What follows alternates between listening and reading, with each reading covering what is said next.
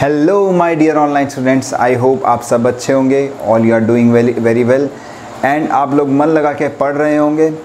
Today we are going to further proceed proceed on our P block element and आज जो है हम लोग डिस्कस करने वाले हैं ग्रुप 15 में नाइट्रोजन के एक बहुत ही इंपॉर्टेंट कंपाउंड अमोनिया को लेकर के. इससे पहले हम लोगों ने ग्रुप 15 में नाइट्रोजन फैमिली की फ़िज़िकल प्रॉपर्टीज़ को डिस्कस कर दिया है। जिन्होंने अभी तक उसको नहीं देखा है, आप लोग डिस्क्रिप्शन में लिंक देख सकते हैं हमारे पुराने लेक्चर्स का पी ब्लॉक के ऊपर।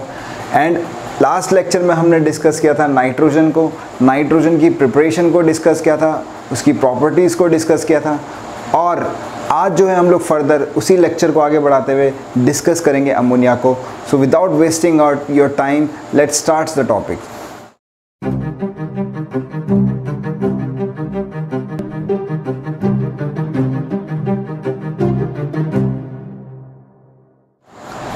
so students आज जो है हम लोग डिस्कस करने वाले हैं अमोनिया को। ठीक है? इसको स्टार्ट करने से पहले मैंने आप लोगों को एक क्वेश्चन दिया था और बहुत ही इंटरेस्टिंग क्वेश्चन था। क्वेश्चन ये था कि बेटा nitrogen nitrogen phosphorus phosphorus arsenic arsenic and antimony antimony इसकी जो बॉन्ड एंथैल्पी है सिंगल बॉन्ड एंथैल्पी किसके केस में सबसे ज़्यादा होगी?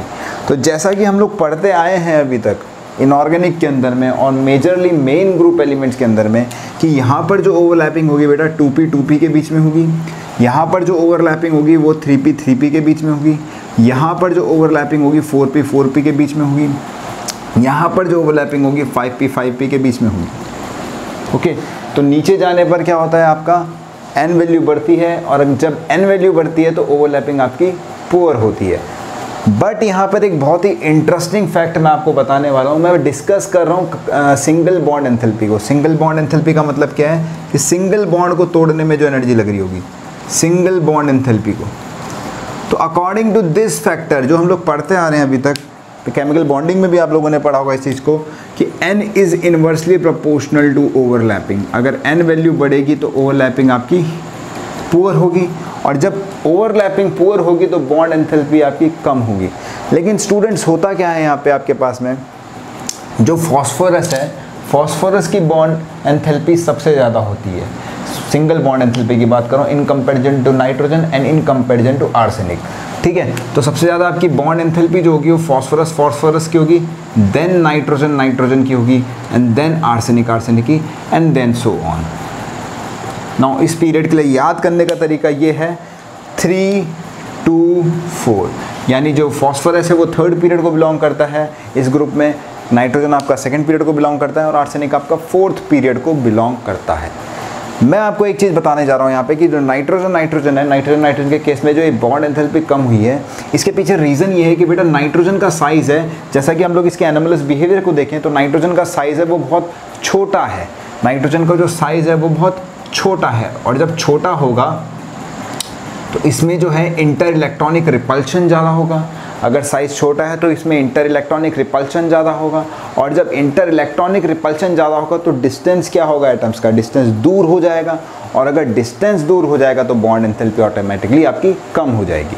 तो इसके केस में हो क्या रहा है स्टूडेंट्स कि आपके पास में नाइट्रोजन नाइट्रोजन की जो बॉन्ड लेंथ है bond length increases due to electron repulsion between electron repulsion between nitrogen nitrogen atom between nitrogen nitrogen atom as of its small size as of its small size इसके small size की वजह से और इसी वजह से इसी वजह से क्या होता है it have low single bond dissociation enthalpy in comparison to phosphorus in comparison to phosphorus phosphorus. Okay? तो आई होप आप लोगों को एक कॉन्सेप्ट समझ में आया होगा। आपको बहुत सारे एनिमल्स बिहेवियर मिलेंगे फ़र्स्ट ग्रुप एलिमेंट्स मतलब जो फ़र्स्ट पीरियड के एलिमेंट होंगे आपके किसी भी पर्टिकुलर ग्रुप के अंदर में, उनमें बहुत एनिमल्स बिहेवियर मिलेंगे। इसीलिए इनको हम लोग टिपिकल एलिमेंट्स भी बोल देते हैं। तो चलिए आगे हम लोग डिस्कस करते हैं अमोनिया को, उसकी प्रिपरेशन को। तो स्टूडेंट्स जो पहला मेथड है हमारे पास में अमोनिया प्रिपरेशन के लिए that is the hydrolysis of urea urea की तो बहुत ही इंटरेस्टिंग कहानी आपको पता भी होगी। तो it was the first organic compound that was discovered accidentally in chemistry lab in 1826 तो अगर यूरिया है यूरिया का आप हाइड्रोलाइसिस कराओगे तो ये फॉर्म करता है अमोनियम कार्बोनेट ये क्या फॉर्म करता है आपका? अमोनियम कार्बोनेट और अगर अमोनियम कार्बोनेट को फर्दर आप हीट करेंगे तो फॉर्म करता है आपके पास में अमोनिया प्लस वाटर एंड साथ में रिलीज़ करेगा आपका CO2 गैस को. So this is the first method by which we can prepare ammonia और ये आपका एन में भी मैंशनड है.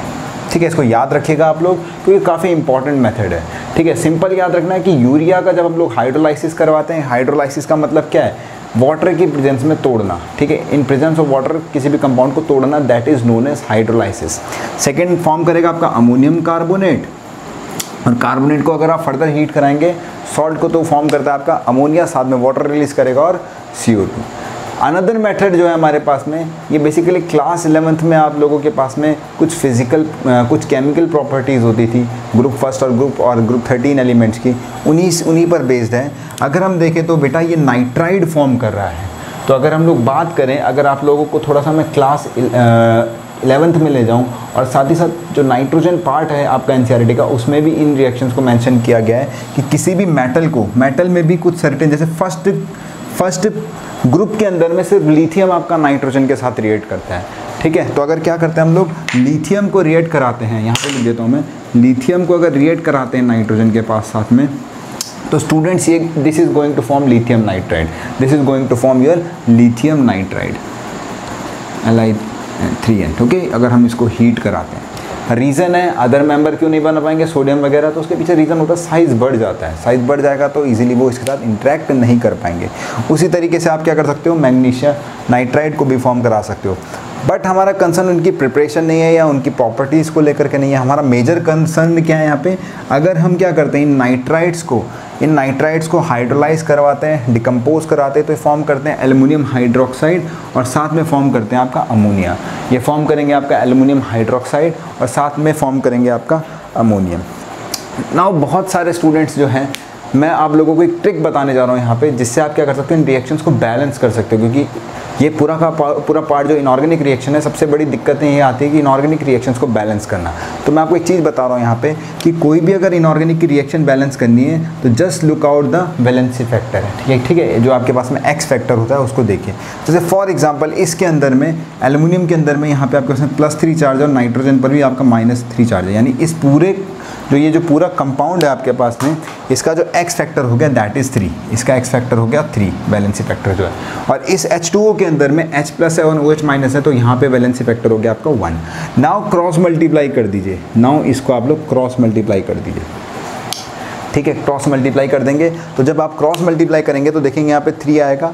और ये थ्री इसके, इनके बैलेंस के रिस्पेक्ट में आप इनके, इनको बैलेंस करने के बाद फर्दर आप इनको बैलेंस आउट कर सकते हैं, ठीक है? सिमिलरली आप इसके केस में देखिए तो यहाँ पे आपके पास में जो वैलेंसी फैक्टर होगा, एक मैग्नीश यहाँ पे तीन मैग्नीशियम है तो एक टोटल आपका वैलेंसी फैक्टर निकल के आएगा सिक्स और यहाँ पे जो आपके पास में वैलेंसी फैक्टर निकल के आएगा दैट विल बी वन ना इसको आप क्रॉस मल्टीप्लाई कर दीजिए, और क्रॉस मल्टीप्लाई करेंगे तो आपके पास में ये आपका रिएक्शन बैलेंस हो जाएगी. तो just you have to look at the X factor and on the basis of that you can you can balance the chemical equation now एक चीज़ मैं आपको बताऊँगा, देखो इसको आपके पास कंटेंट बहुत सारा हो जाएगा, लेकिन लास्ट में आपको लास्ट वीक जब एग्ज़ाम का आ जाता है तो you have to make some short notes आपको एक कॉपी में, एक पेज में इन सारी रिएक्शन को लिखना है, ताकि आप बार बार देखें और ये इनको मेमोराइज कर सकें, क्योंकि रिएक्शन याद होंगी, आप तभी क्वेश्चन को डील कर पाएँगे।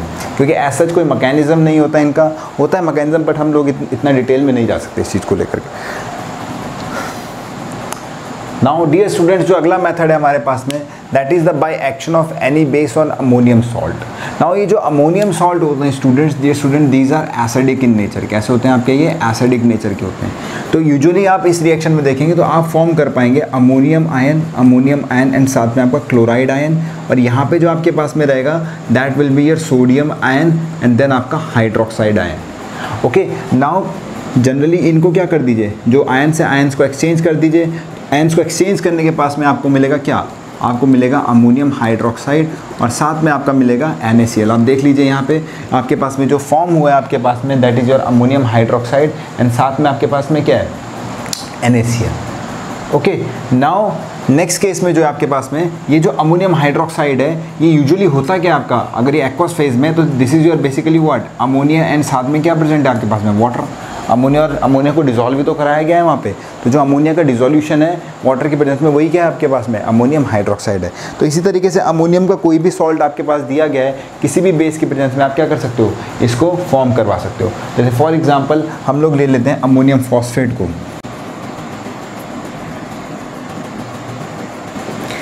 ठीक है? तो ये हमारे पास में अमोनियम फॉस्फेट है और इस अमोनियम फॉस्फेट को अगर हम लोग क्या करते हैं? मैग्नीशियम हाइड्रोक्साइड के साथ रिएक्ट करवाते हैं। इस अमोनियम हाइड अमोनियम फॉस्फेट को हम लोग मैग्नीशियम हाइड्रोक्साइड के साथ में रिएक्ट करवाते हैं। अगेन आप देखेंगे यहाँ पे तो आप लोग क्या करिए? सबसे पहले जो आयंस है, इन आयंस को क्या कर दीजिए? आपस में बैलेंस आउट कर लीजिए, ठीक है? एक्सचेंज करवा लीजिए।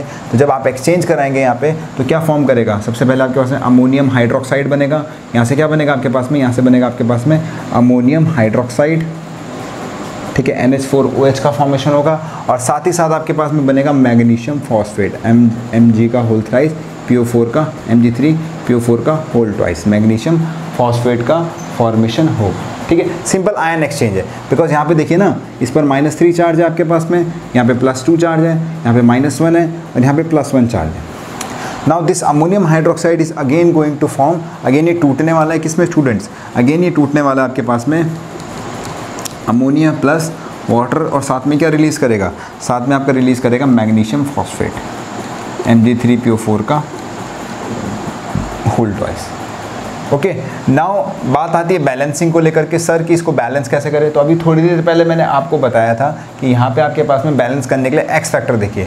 तो अगर मैं इसमें देखूँ तो इसका एक्स फैक्टर है थ्री इसका जो एक्स फैक्टर है दिस इज़ थ्री और इसका जो एक्स फैक्टर है, वो है टू इसका एक्स फैक्टर इससे मल्टीप्लाई कर दीजिए। तो ये बन जाएगा आपका थ्री और इसका एक्स फैक्टर इससे मल्टीप्लाई कर दीजिए तो क्या बन जाएगा आपका टू तो ओवरऑल जो आपके पास में बैलेंसिंग है, अब इस तरीके से हो गई है और इसके रिस्पेक्ट में आप क्या कर सकते हैं?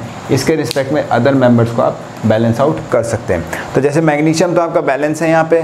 मैग्नीशियम आपका बैलेंस है। अगर हम लोग अमोनिया की नाइट्रोजन की बात करें तो टोटल नाइट्रोजन आपके पास सिक्स है। तो यहाँ पे किससे मल्टीप्लाई कर दीजिए आप लोग? सिक्स से मल्टीप्लाई कर दीजिए।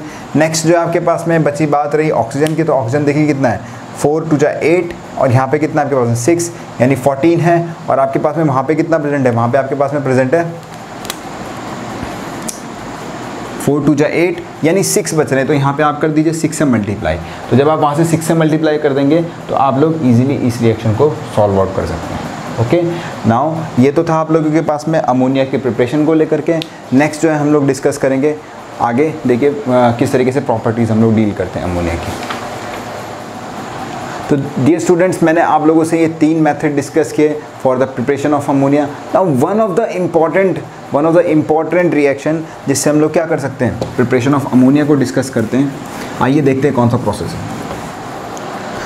तो स्टूडेंट्स नेक्स्ट मेथड जो है हमारे पास में अमोनिया प्रिपरेशन का दैट इज़ हेबर्स प्रोसेस जो कि एक इंडस्ट्रियल मेथड है।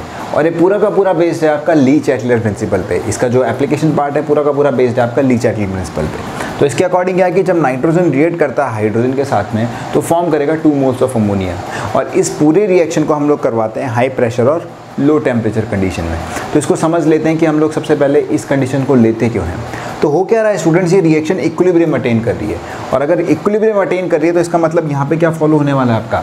ली चैटलर प्रिंसिपल फॉलो होने वाला है. और ली चैटलर प्रिंसिपल क्या बोलता है कि कोई भी फैक्टर जो रिएक्शन को इफ़ेक्ट करता है अगर मान लो हम लोग कंसनट्रेशन बढ़ाते हैं तो कंसनट्रेशन जब बढ़ा रहे हैं हम लोग रिएक्टेंट की तो रिएक्शन उस डायरेक्शन में जाएगी ताकि उस इफ़ेक्ट को क्या कर सके? उस इफ़ेक्ट को कम किया जा सके।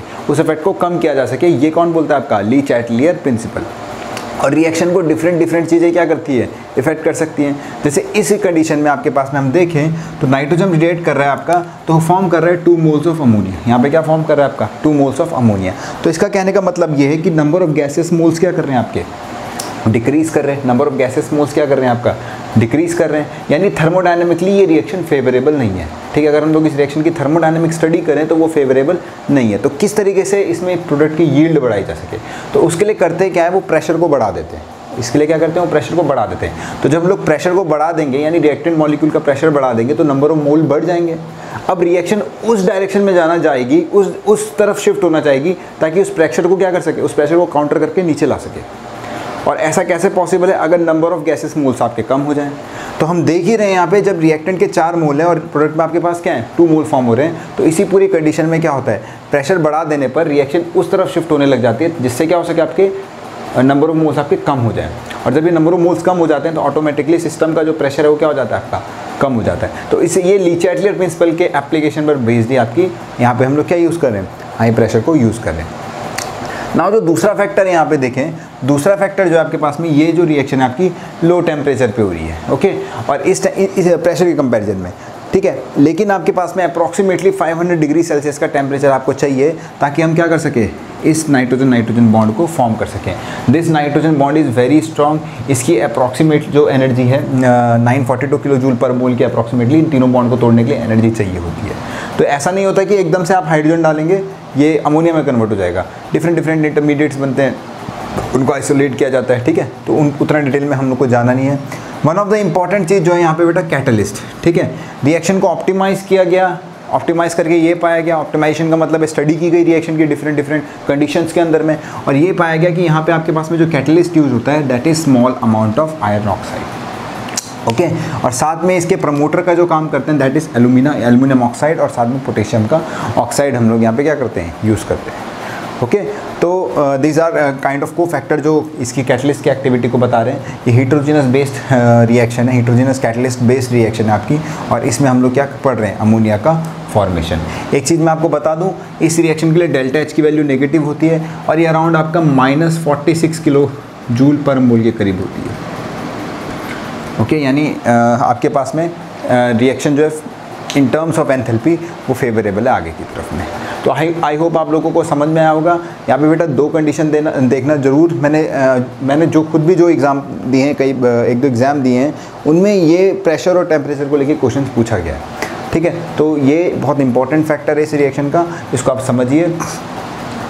फर्दर इनको याद रख लीजिएगा कि कौन कौन से कैटलिस्ट यूज़ होते हैं यहाँ पे। आयरन ऑक्साइड यूज़ होता है रेड ऑट आयरन भी बोला जाता भी यूज़ किया जाता है और ये फर्दर आपकी इसकी कंडीशन है। नाउ डियर स्टूडेंट्स हम लोगों ने अभी डिस्कस किया प्रिपरेशन ऑफ़ अमोनिया नाउ हम लोग डिस्कस करने वाले हैं आपका प्रॉपर्टीज़ ऑफ़ अमोनिया तो सबसे पहले जो है, हम लोग डिस्कस करेंगे अमोनिया की फ़िज़िकल प्रॉपर्टीज़ को। सबसे पहले जो है, हम लोग डिस्कस करेंगे फ़िज़िकल प्रॉपर्टीज़ को। तो अमोनिया को लेकर के मेरे को एक बहुत अच्छा इंसिडेंट खुद के साथ एक इंसिडेंट याद है, मैं आप लोगों से शेयर करना चाहूँगा। मैं प्रैक्टिकल कर रहा था, मेरे मास्टर्स की बात आई थिंक और बैचलर फाइनल ईयर्स की बात है। तो मेरा फ्रेंड आया और उसने मुझे एकदम से अमोनिया इनहेल करवा दिया, ठीक है? उसने कहा जस्ट चेक दिस आउट और जैसे ही मेरे नाक में अमोनिया गया I still till now I still remember कि किस तरीके की वो एक पिंच करने वाली स्मेल थी जो सीधा मेरे दिमाग तक गई। बहुत ख़तरनाक स्मेल थी इसकी। तो वहाँ से मुझे याद रहता है कि जो अमोनिया है, ये पंजेंट ऑर्डर पंजेंट ऑर्डर है अमोनिया का। मतलब उस इवनिंग तक मेरा, उस इवनिंग तक, उस उस इंसिडेंट के बाद मेरा पूरे टाइम सर दर्द रहा। इतनी खतरनाक स्मेल होती है आपकी अमोनिया की। तो स्ट्रॉन्ग अमोनिया की बात करें तो हम लोग, इसकी बहुत पंजेंट स्मेल होती है। और कलरलेस गैस होता है। And this is your colourless gas ठीक है। Now one of the important thing ये जो है कि ammonia show ammonia show hydrogen bonding ammonia के पास टेंडेंसी होती है कि वो हाइड्रोजन बॉन्डिंग को शो कर सके। तो किस तरीके से यहाँ पे देखिए स्टूडेंट्स अमोनिया जो है, इसमें नाइट्रोजन है और नाइट्रोजन की जो इलेक्ट्रोनेगेटिविटी होती है दैट इज़ अप्रॉक्सीमेटली थ्री ना? थ्री के करीब है। तो यहाँ पे आपके पास में डेल्टा नेगेटिव चार्ज और इस पर क्या आपका? डेल्टा पॉजिटिव चार्ज है। और ये जो है आपका, दूसरे अमोनिया मॉलिक्यूल के साथ में इंटरेक्टेड रहेगा इस तरीके से। तो यहाँ पे आपके पास में inter molecular hydrogen bonding involve है। Inter molecular H bonding involve है। ठीक है? तो हाइड्रोजन बॉन्डिंग का एक रूल बता देता हूँ कि हाइड्रोजन जब अटैच होता है किसी स्मॉल आइटम के साथ में और जिसकी इलेक्ट्रॉन हाई इलेक्ट्रोनेगेटिविटी हो तो वो किसके लिए जाता है आपका? हाइड्रोजन बॉन्डिंग के लिए जाएगा। और यही रिस्पॉन्सिबल होता है इंटरमोलिकुलर हाइड्रोजन बॉन्डिंग ताकि किस स्टेट में एग्जिस्ट करे? ये सॉलिड में या लिक्विड में? सॉलिड और लिक्विड स्टेट में एग्जिस्ट करने के पीछे जो रीज़न है अमोनिया का that is its that is its hydrogen bonding apart from that इसका जो melting point and boiling point है that is approximately 200 and 240 kelvin respectively तो अगेन मैंने इसके हाइड्राइट्स में डिस्कस कर रखा है कि पूरे ग्रुप पे किस तरीके से इनका बॉइलिंग पॉइंट और बॉइलिंग पॉइंट और मेल्टिंग पॉइंट वेरी करता है अदर मेंबर के साथ में। तो इसको याद रखिएगा कि लिक्विड अगर ये सॉलिड और लिक्विड स्टेट में एग्जिस्ट कर रहा है तो उसके पीछे जो रीज़न है, वो है इसका मेल्टिंग पॉइंट और सॉरी इसका हाइड्रोजन बॉन्डिंग ओके और नेक्स्ट जो इसके अंदर में प्रॉपर्टी है it is soluble in water okay? It is soluble in water अगली जो प्रॉपर्टी है इसके अंदर में that it is soluble in water soluble in water and why it is soluble in water it is soluble in water due to the tendency to form due to its tendency to form tendency to form H bonding इसके पास tendency है कि क्या show कर सकता है आपका? Hydrogen bonding को शो कर सकता है। ठीक है? तो जैसे आपके पास में अमोनिया है अमोनिया को अगर मैं वाटर में डिज़ोल्व करवाता हूँ अमोनिया को अगर मैं डिज़ोल्व कराता हूँ वाटर में तो ये किसमें टूटता है आपका? It is converted into ammonium hydroxide ammonium hydroxide जो कि क्या है? It is the constituent of ammonium ion and hydroxide ion okay तो अगर कोई आपसे ऐसा पूछे कि लिक्विड अमोनिया की फॉर्म तो आपका लिक्विड अमोनिया की फॉर्म यही है, जिसको हम क्या कर सकते हैं? चेक भी कर सकते हैं। इसका बेसिक नेचर भी लिटमस टेस्ट अगर हम करें, अगर इसका लिटमस पेपर टेस्ट करें हम लोग, अगर इसका हम लोग लिटमस पेपर टेस्ट करें तो यूजुअली किसमें कन्वर्ट करता है? रेड को रेड टू ब्लू में ये लिटमस पेपर को कन्वर्ट करेगा। तो this is the property of ammonia that on dissolving in water water में क्या डिजोल्व करने पर क्या बनाएगा आपका? अमोनियम हाइड्रोक्साइड फॉर्म करेगा और अमोनियम हाइड्रोक्साइड फॉर्म करने के पीछे रीज़न क्या है इसके पास में?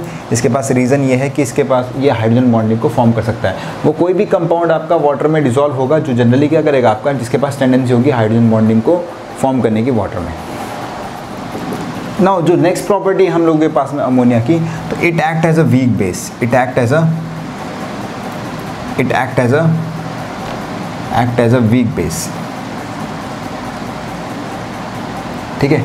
ये क्या करेगा आपका? वीक बेस की तरह एक्ट करेगा और इसके पास टेंडेंसी होगी एसिड के साथ रिएक्ट करने के बाद में फॉर्म क्या करेगा ये? अगर हम लोग अमोनिया है अमोनिया को रिएक्ट कराते हैं एच के साथ में तो ये फॉर्म करेगा सॉल्ट है ना? अमोनियम आयन सॉल्ट ठीक है? तो वीक बेस और क्या करेगा? फॉर्म्स अमोनियम सॉल्ट क्या करेगा ये? फॉर्म अमोनियम सॉल्ट ये क्या करेगा आपका? अमोनियम सॉल्ट को फॉर्म करेगा। फॉर्म अमोनियम सॉल्ट ठीक है? इस तरीके से। तो और भी आप देख सकते हो चाहे तो। इस तरीके से रिएक्शन है। एच हमारे पास में एसिड है और ये आपके पास में अमोनिया जो है आपका वीक बेस की तरह एक्ट कर रहा है। तो this simple acid base reaction okay now dear students हम लोगों के पास में अगली जो प्रॉपर्टी है अमोनिया की that is quite interesting property of ammonia वो क्या है कि रिएक्शन विद सॉल्ट्स है ना? अमोनिया क्या करता है? डिफरेंट डिफरेंट सॉल्ट्स के साथ रिएक्ट करेगा और डिफरेंट डिफरेंट तरीके से प्रॉपर्टी को आपका एग्जिबिट करेगा। सबसे पहले देखिए आप लोग कि जो लेड लेड क्लोराइड का सॉल्ट है, ठीक है पी है, इसके साथ जब लोग अमोनियम हाइड्रोक्साइड को रिएक्ट कराते हैं तो ये फॉर्म करता है लेड हाइड लेड हाइड्रोक्साइड ठीक है, ये हाइड्रोक्साइड फॉर्म करेगा, जो कि आपका एक पीपीटी की फॉर्म होगा। इनसॉल्युबल होगा वहाँ पे और इसका कलर जो होगा आपका वाइट पीपीटी फॉर्म करेगा और साथ में आपका अमोनियम का सॉल्ट बनाएगा। उसी तरीके से एफ़ के साथ में हम लोग, ठीक है फेरिक क्लोराइड के साथ में हम लोग अमोनियम हाइड्रोक्साइड को रिएक्ट कराते हैं तो ये फॉर्म करता है रेडिश ब्राउन पीपीटी ठीक है रेडिस ब्राउन पीपीटी फॉर्म करेगा और साथ में आपका रिलीज़ करेगा अमोनियम क्लोराइड को। तो इन दोनों रिएक्शन में डियर स्टूडेंट्स एक बात यह है कि हम करते क्या है कि जो अमोनियम हाइड्रोक्साइड है, इसका अमाउंट कम कर देते हैं। अगर हम लोग कम अमाउंट में इस रिएक्शन को कराते हैं तो हम लोग पीपीटी को फॉर्म करेंगे। ओके नाउ अगर हम लोग क्या करते हैं? अमोनियम हाइड्रोक्साइड या अमोनिया का अमाउंट लिक्विड अमोनिया का अमाउंट अगर हम लोग बढ़ा देते हैं तो लिक्विड अमोनिया का अमाउंट बनाने पर जो जिंक क्लोराइड है, अमोनियम हाइड्रोक्साइड के साथ जब रिएक्ट करेगा तो जिंक हाइड्रोक्साइड फॉर्म करेगा, जो कि पहले क्या होता है आपका इंसॉल्युबल पीपीटी की फॉर्म में होगा। ये भी आपका इंसॉल्युबल होगा और पीपीटी की फॉर्म में होगा। फर्दर हम क्या कर रहे हैं, हम लोग अमोनिया का अमाउंट बढ़ा रहे हैं। एक्सेस अमोनिया हम लोग ले रहे हैं यहाँ पे। तो अगर एक्सेस अमोनिया लेंगे तो फर्दर ये जिंक अमीन कॉम्प्लेक्स बनाएगा, जो कि आपका सॉल्युबल होगा। ठीक है? तो स्टूडेंट्स याद रखिएगा कि एक्सेस अमोनिया के केस में हम लोग सॉल्युबल कॉम्प्लेक्स को जनरेट करते हैं और जब इनसॉल्युबल होता है इनसॉलिबल केस कब आता है आपके पास में? जब हम लोग क्या करते हैं? Limited amount of ammonium hydroxide को यूज़ करते हैं। तो these were the properties regarding the ammonia now dear students एक बहुत ही इंटरेस्टिंग प्रॉपर्टी मैं आपसे डिस्कस करने वाला हूँ। And this is quite important इस पर आपका एन पर बेस्ड एक क्वेश्चन भी इन टेक्स्ट आप देखिएगा और उसको सॉल्व कीजिएगा। That is ammonia can act as ammonia can act as Lewis base ammonia can act as Lewis base तो पहले मैं थोड़ा आप लोगों को आइडिया दे देता हूँ कि लुइस बेस होते क्या हैं। आई होप आप लोगों ने पढ़ रखे होंगे बचपन में मुझे पता है। तो अमोनिया क्या होता है आपके पास में? इस तरीके से नाइट्रोजन है बीच में। और इसके पास अवेलेबल है यहाँ पे लोन पेयर ओके okay, और इन्हीं लोन पेयर की वजह से due to the presence of these lone pair इन्हीं लोन पेयर के प्रेजेंस होने की वजह से इन्हीं लोन पेयर के होने की वजह से it act as Lewis base क्योंकि लुइस बेस के पास एक प्रॉपर्टी होती है कि वो किसकी तरह काम करता है। It can behave behave as your donor atom वो किसकी तरह बिहेव कर सकता है आपका? डोनर एटम की तरह बिहेव कर सकता है। या डोनर ग्रुप कहिए तो ज़्यादा सही रहेगा। ठीक है? तो आप लोगों के पास में नेक्स्ट सेमेस्टर में एक टॉपिक है दैट इज़ आप लोगों के पास में नेक्स्ट सेमेस्टर में एक टॉपिक है that is your coordination complex वहाँ पे आप जानेंगे कि कोऑर्डिनेशन कॉम्प्लेक्स इसमें कि, कि लुइस बेस और लुइस एसिड बेस जो केमिस्ट्री है किस तरीके से इंपॉर्टेंट रोल प्ले करती है in the formation of complex तो उसी तरीके के कुछ सिनेरियो है यहाँ पे कि अगर मैं क्या करता हूँ कॉपर सॉल्ट के साथ में ठीक है? कि अगर मैं इसको कॉपर सॉल्ट के साथ में रिएक्ट कराता हूँ अमोनिया को तो ये फॉर्म करता है copper tetraammine complex it is going to form copper tetraammine complex four moles of ammonia को जब मैं रिएक्ट कराऊँगा यहाँ पे तो ये क्या करेगा आपका? Copper tetra amine complex form करेगा, जो कि आपका डीप ब्लू कलर का कॉम्प्लेक्स होगा। ठीक है? जो कि आपका डीप ब्लू कलर का सोल्यूशन होगा। और इसकी बेटा जो हाइब्रिडाइजेशन होती है वो एस होती है। चलो हाइब्रिडाइजेशन को मैं कॉन्डिशन कॉम्प्लेक्स में डिस्कस करूँगा। बट आप इतना याद रखिए कि इसका जो कलर है वो that is your deep blue colour another जो प्रॉपर्टी है इसकी कि अगर मैं ए के साथ में ए आपका एक PPT फॉर्म है। ए तो आपका PPT बनाता है। और मैं इसको अगर अमीन के साथ रिएक्शन करवाता हूँ टू मोल्स ऑफ़ अमोनिया के साथ इस, इसको रिएक्शन कराता हूँ तो it is also going to form a colourless complex it is also going to form a di आर्जिन colourless complex है ना? डाई अमीन आर्जिन कॉम्प्लेक्स है ना? और यहाँ पे ये जो कलर है आपका, इसका जो है कलरलेस रहेगा। लेकिन अगेन ये प्रॉपर्टी क्या है? अगेन यहाँ पे आपके पास में अमोनिया जो प्रॉपर्टी एग्जिबिट कर रहा है that is the property of Lewis base यानी एक डोनर ग्रुप की तरह आपका बिहेवियर शो कर रहा है। सो डियर स्टूडेंट्स ये तो थी अमोनिया की फ़िज़िकल प्रॉपर्टीज़ के बारे में, कि अमोनिया किस तरह और उसकी केमिकल प्रॉपर्टीज़ भी मैंने डिस्कस कर ली, उनसे रिलेटेड जो रिएक्शन है, जितना आपको याद रखना है। आई होप आप लोगों को समझ में आया होगा। फर्दर आगे जो है मैं आप लोगों को यूजेस बता देता हूँ कि अमोनिया के यूजेस क्या क्या हैं। तो डी स्टूडेंट्स ये कुछ इंपॉर्टेंट यूजेस है। अमोनिया के, वैसे तो आपको एन में काफ़ी सारी चीज़ें मिल जाएँगी, लेकिन these are some important uses of ammonia देखिए, आपका एज अ रेफ्रिजरेटर इसको यूज़ करते हैं हम लोग, ठीक है? रेफ्रिजरेशन में हम लोग इसका यूज़ करते हैं। यहाँ पे रेफ्रिजरेटर फ्लूड लिख लीजिए आप लोग, है ना? रेफ्रिजरेटर फ्लूड में इसको यूज़ किया जाता है manufacture of fertiliser and one of the important जो हम लोग डिस्कस करेंगे that is in the preparation of H N O three Ostwald process में इसका एप्लीकेशन है, ठीक है?